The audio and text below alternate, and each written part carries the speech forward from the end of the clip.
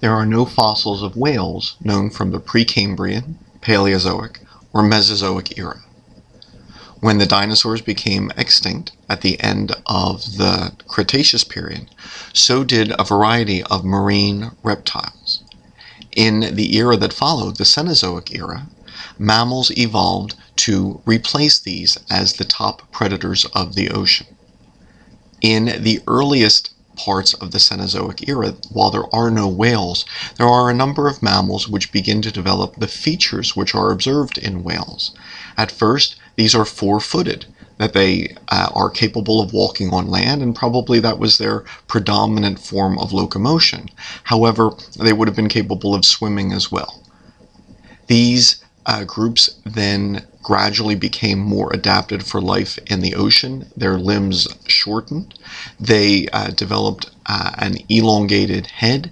And one can observe, say, the position of the blowhole, which started off at the tip of the snout, as is typical for nostrils, gradually move along the length of the head so that it reached the point found in modern whales uh, above the eyes.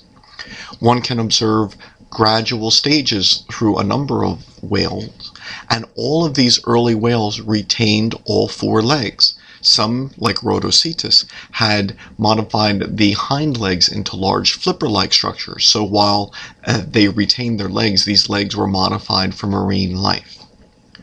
Eventually, uh, with the Dorudontine whales and the basilosaurids, these hind legs had become tiny appendages. They were still present, you know, with all of the bones associated with legs, a femur, a tibia, a fibula, a patella, tarsal and metatarsal bones. On the basilosaurids, animals which could reach 60 feet in length, these legs might only have been, say, six inches, and so they were uh, relatively functionless in locomotion. Nevertheless, these legs were still present. It was only in the most recent times that the modern groups of whales evolved. And so most of the whales which existed during the age of mammals were primitive forms which were extinct today.